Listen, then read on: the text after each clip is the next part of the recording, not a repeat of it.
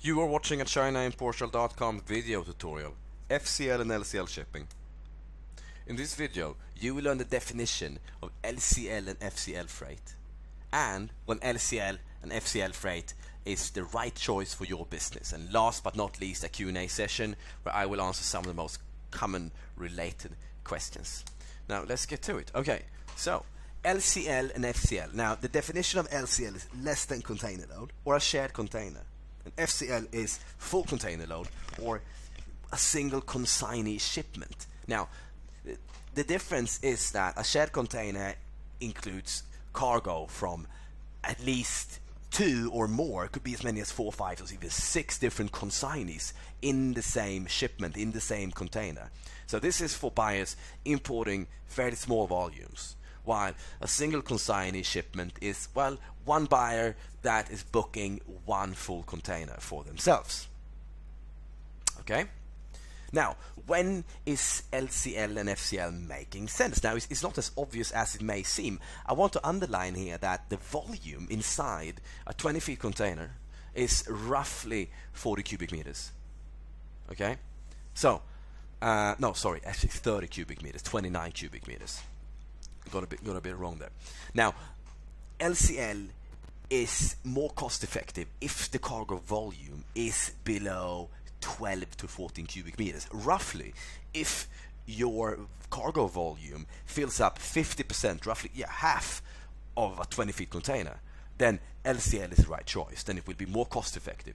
But if you can book at least half a container, then the price will be the same if you just go and book it yourself. And yeah, it may sound a bit strange, but the reason for this is that the shipping companies they have a fixed administrative cost, like uh, a fixed, yeah, fixed shipping cost on a per ship shipment basis. It means that the amount of documents to fill in, the customs clearance procedures, are all the same, regardless of whether they are shipping, say, two cubic meters or 200. This means that the shipping cost per unit is much higher when shipping LCL as compared to FCL, which explains why FCL can actually make sense if you're not even close to filling a 20 foot container uh, by yourself. Now, FCL is the right choice, as said, if it is above 12 cubic meters and above roughly 200 kilos. Because the reason I want to go to the weight here now. Ship sea freight shipping costs are, in most cases, exclusively based on volume. Weight is not something that you even have to consider when shipping by sea. But of course, if the if your cargo is say below 200 kilograms and uh, one cubic meter, then air freight might be a better option.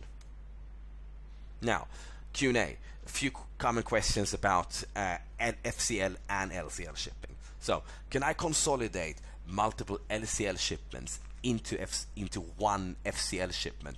And yes, you can. And this is one of the best ways to actually save on your freight costs.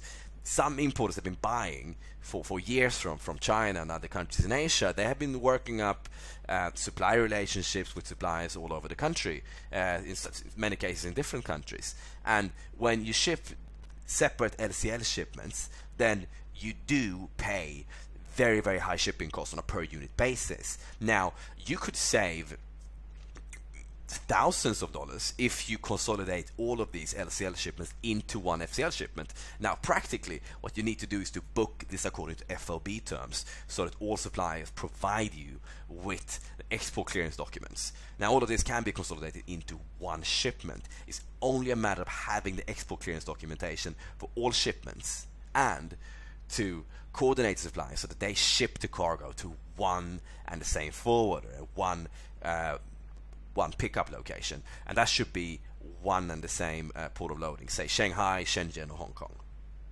Okay. Now, of course, this can be a lot harder to put off in reality, given that you have multiple suppliers working with different production schedules and a delay at one supplier will halt all your ship shipments. So there are drawback to this strategy, but if you can do this, and especially if you work with suppliers in the same region, then you can really save a lot of money this way. why is LCL shipping so much more expensive as compared to FCL shipping? And as I explained, the reason for this is because you have fixed fees that apply on a per shipment basis. It doesn't matter if you are shipping 2 cubic meters or 20 or even 40 cubic meters.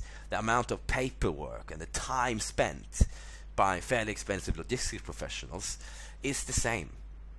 And time is money. So this translates into higher costs. And it's not only that, but they also take costs into consideration uh, in, in, in, transit, loading and unloading, and, and, and so on. And well, perhaps because they can. That's one more reason. I do know that some forwarders actually have a lot better profit margins in LCL as compared to FCL shipping.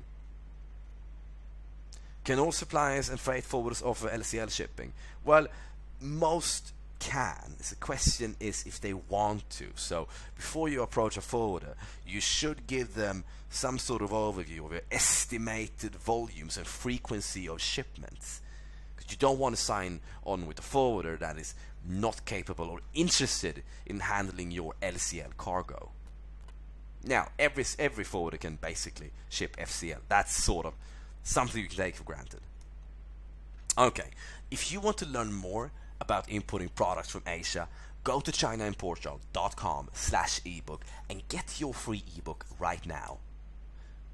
In the ebook, you will learn how to import and launch almost any product using a tested four-step procedure, how to identify qualified suppliers on Alibaba and global sources, and how to buy private labeling products while protecting your IP. Last, the best practices for managing shipping and customs procedures, including LCL and FCL shipping in the United States, the European Union, and other markets. So go to this URL, chinaimportal.com slash ebook and get your free copy today.